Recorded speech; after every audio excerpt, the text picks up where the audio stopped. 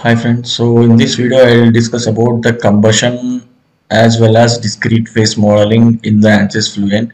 So that uh, for that scenario I have taken this nitrogen gas and powder uh, coal that will be entering as shown in the figure from the bottom and the oxygen is that is been entering from the other side. So when this oxygen will uh, react with this powder coal then the combustion will happen. So but before that also uh, maybe we can take this way that there will be coal that is present a coal particle it which is composed of volatile material right? So this volatile material after reaching a certain volatile temperature this volatile material gets vaporized. It goes away right. And there can be some water vapor also present on this coal particle. So that also will evaporate.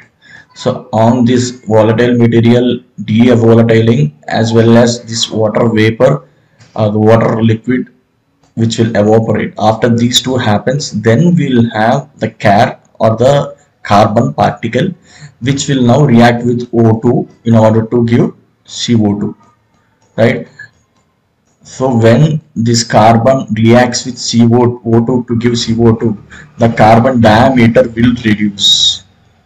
So initially the diameter composed of H2O plus volatile material, right?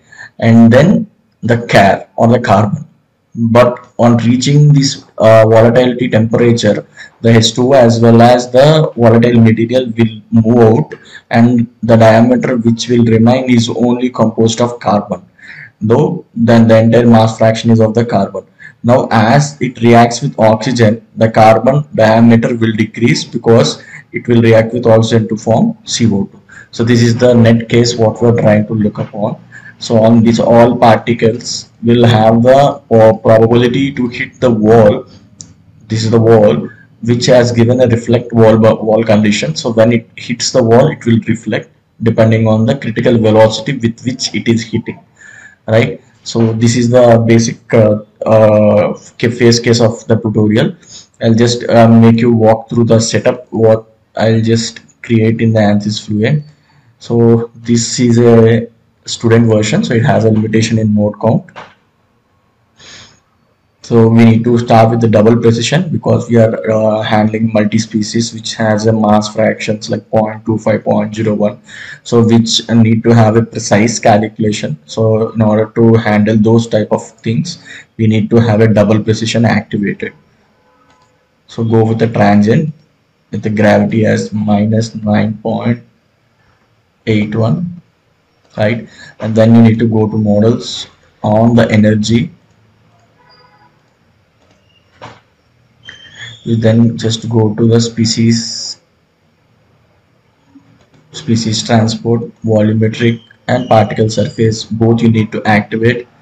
Then go to finite rate eddy dissipation model. Go to coal calculator so this is either one step or two step. If there is a two step or uh, there is a participation of carbon monoxide also but we have taken one step where there is only carbon dioxide that is directly coming out when reacting of coal with the oxygen. The coal density is 1400 what is being taken here. And the high temperature volatile yield is 1 so this is the volatile material what you can see. So this I'll just apply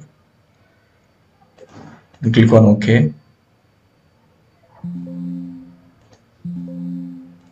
so all the modifications necessary modifications will be happened here so you can see here so this is the mechanism where the volatile material is reacting with oxygen to form CO2, H2 and N2. But prior to that, we need to create other setup also that is injections. We need to create an injection. Click on the combusting particle. So coal particle is a combusting particle what we will take. So the devolatilizing species is uh, the coal which is a composed of different other volatile materials. So the composition I have already shown it to you so now we go to uh, the wet combustion. This wet combustion includes the water liquid fraction that is present on the coal particle. and now you need to select the surface from which these particles have been injecting n2 plus particle inlet this is the surface from which particle is being injected activate this custom law all this inert vaporization boiling is not required try to give the surface combustion and make this inactive right? So these are all the laws that will participate or that are important uh, for the discrete phase model or the particle model in which all these laws will be applied. Click on ok ok but we have not created uh, uh, yet our carbon or coal particle on the surface of the particle. So you can just check here. The amount of vaporization temperature is 400 and the volatile component is 55 and the combustible fraction is 33 maybe we'll just change it just to 60 and 40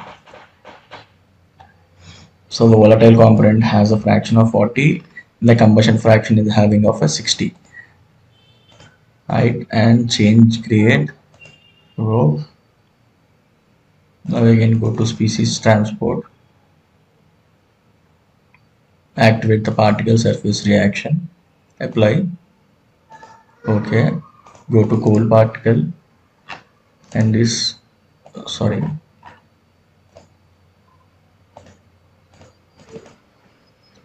in the particle surface reaction go to edit.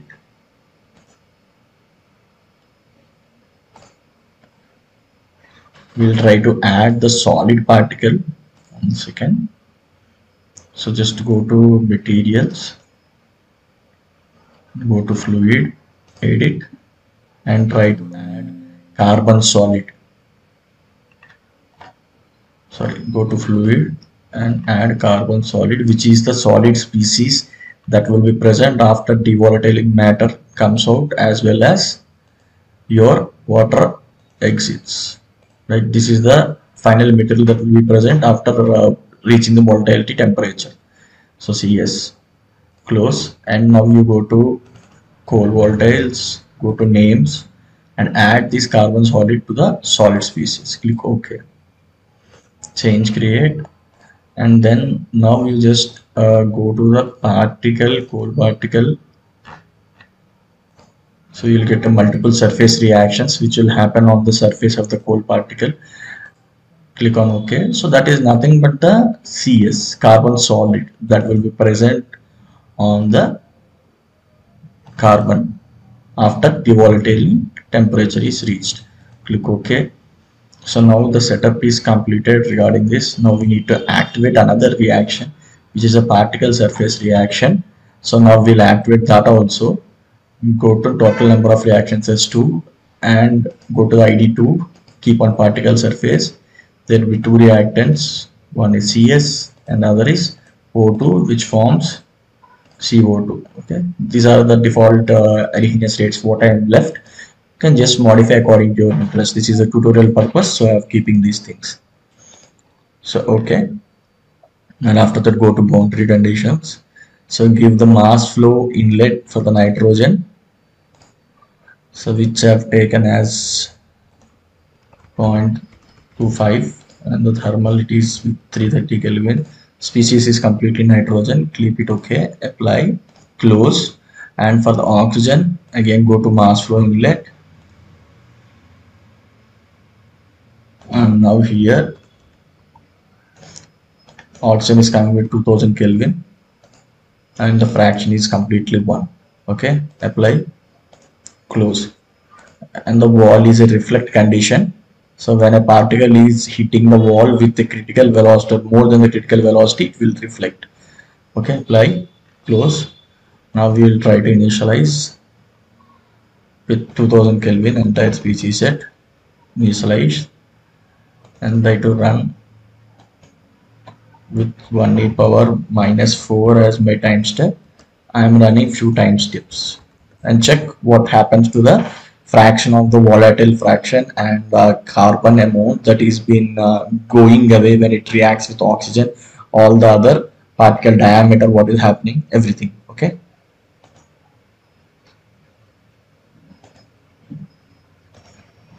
so I've ran through few time steps. So now you can just check out the particle tracks. How are they been?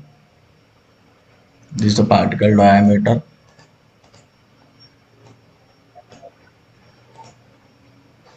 So you can just check particle diameter. Initially the particle diameter is huge.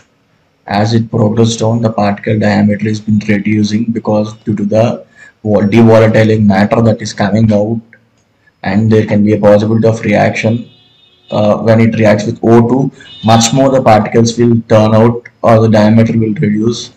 And previously I just forgot to mention in this injection I have given this diameter 70 power minus 6 and temperature is 330 Kelvin and stop time is this one with this particular flow rate also. Okay? So this is the particle diameter with which uh, the particles started 70 power minus 6 but gradually the diameter reduced due to the escaping of the devolatiling matter as well as water vapor fraction. And you can see other variables also. Maybe you can just check out uh, particle liquid mass fraction which will be high initially. It is high initially but as it is moving down the fraction is becoming zero. Liquid is turning into vapor or the water liquid is turning into vapor. Similarly the volatile mass fraction which will be high initially as the time progresses that also becomes zero. Because the devolatiling temperature is 400 kelvin right? But it is reverse case. char mass fraction will increase. Because initially there are many other fractions but after traveling through few time steps everything left is only char mass fraction. Okay? So these are the particle variables. And uh, you can create different scenes also so we can just check the static temperature how exactly it's looking like. And you can have uh, discrete phase variables depending on the concentration. Here there is a concentration of discrete phase variables. So it is having some color but here it's completely blue because there is no discrete phase variables at all. Right? Similarly you can check the, the dpmcs concentration which will be here you can just check high and as it comes goes forward due to the reaction it loses its CS concentration. So all these things you can just browse through and any other requirements you can have this post processing as your tool. Uh, so for any other further information you can just contact me through mail I'll, I'll help you out and this is about the powdered particle uh, coal injection into any air stream or, or oxygen stream flows